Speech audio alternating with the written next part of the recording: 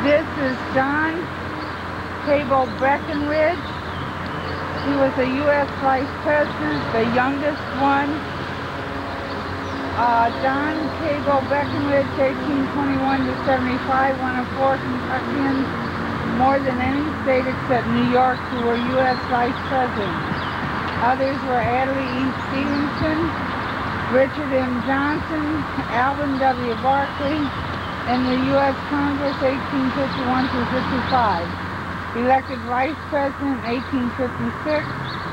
Candidate of Southern Democrats for President in 1860, carrying nine Southern states. I gotta go over here. Breckinridge served as the maker of Kentucky Volunteers. Mexican War, elected to the U.S. Senate in 1860. Became Brigadier Brigadier General, Confederate, Confederate Army, 1861. And was a drill to the Senate. In battle for Shiloh, Chattanooga, Murfreesboro, and others. Confederate Secretary of War, February 1865, until surrender of Lee at Appomattox, April 1865. He was born and died in Lexington. Okay?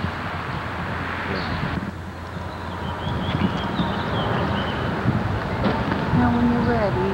Ready. Okay, we are in Lexington, downtown Kentucky. This is the Fayette County Courthouse. Fayette County was one of the original counties formed when the Kentucky Company and Virginia. Let me over here.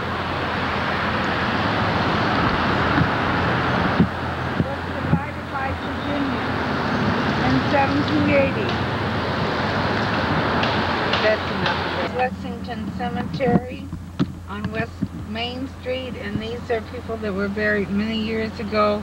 The Abraham Lincoln family, Henry Clay and his wife, James Lane Allen, and Colonel Breckinridge, who was the first, was the youngest Vice President of the United States.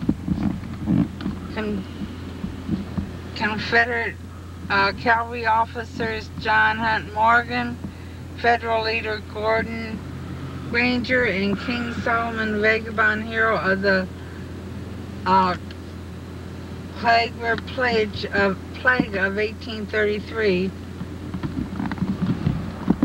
All these people are buried in this very old cemetery, as you can tell through by their tombstones. This is Henry Clay and his wife. They have a great big uh, tombstone in Lexington Cemetery. He was a great orator during the Civil War.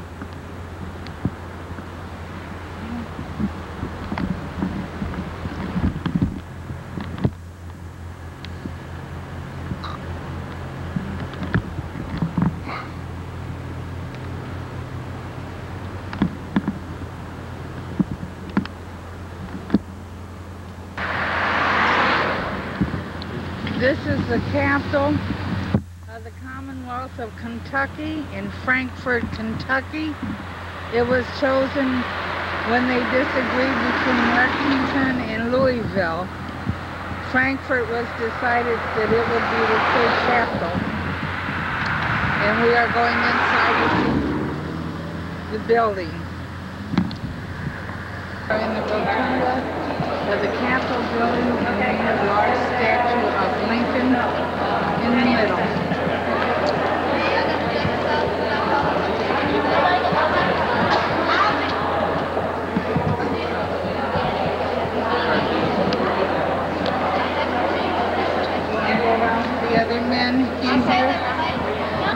W. Barkley, member of the United States House and Senate Majority Leader and Vice President of the United States. McDowell, Danville, Kentucky, pioneer surgeon, the father of ovariotomy, born November 11, 1771, died June 20, 1830. Jefferson Davis, born Fairview, Kentucky, June 3, 1880, 1808, died December 6, 1889, only president of the Confederacy.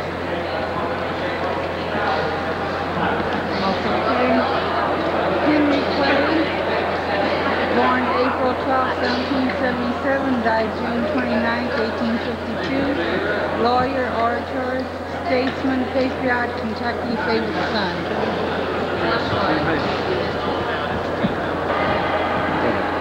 This is beautiful gray marble. As you can see, all the stairs and walls and columns are made that way. At the top of the steps on the third floor is the House of Representatives. No one is able to go in today. They are in session. We're going to go around to the other side and show you the Senate. The are open up on the third floor. The Senate is also in session today, and that door will be closing. There are children here in other parts, so there's no tour guide to take us on a tour of the Capitol. And if you look down, you can see the rotunda and all the children and people that are there. Walls of stones with the uh, chandeliers are gold and very articulate in design. Okay. I'm pulling one in, so I have to go back out. Okay. You will note on the walls there's different governors of the state of Kentucky. We are on the third floor, which is mostly offices for the House and Senate representatives.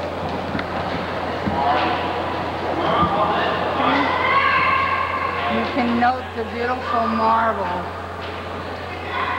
Okay, beautiful picture. Going right up, right, right down through the ceiling. This is looking long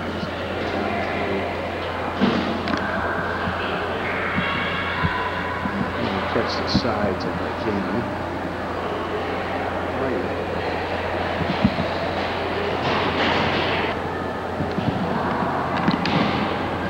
Supreme This- Court. Go ahead. This is the Supreme Court, and the court is in session, so we cannot go in and see it today. Is the first governor's wife of Kentucky, and they go down, all these dials represent the first ladies of Kentucky. Their governor is only allowed to serve four years, so since they have been a state, they've had many governors. As you can tell, the clothing is becoming more modern. We still have two more uh, enclosed chests to look at. Okay, we are coming down to more modern uh, first ladies. Those are in the 1800s. As you can see, their gowns are changing. 1900s. And I guess the color of their hair depicts what color hair each of the first ladies had. Okay. This is the floral clock. Out, Now, go this is the floral clock outside of the Capitol building. It says Kentucky on it and has a star for 12 o'clock. They are on Central Standard Time. And the flowers on the clock at this time of year is pansies because pansies do very well in February in Kentucky due to the warmth of the weather. This is the other side of the Capitol building. Best I can get it, I really can't get far enough away to get it all in one picture on this side. You got it all? Yeah, I notice it don't have any gold on this dome. They spent all the money on the beautiful marble that's inside this building instead of on the exterior. Okay. Wait a minute. As we're walking down to our car from the Capitol building on these two hills is a very large cemetery. We don't know what the name of it is, but it keeps going on and on. On the left hand side looks like the older part of the cemetery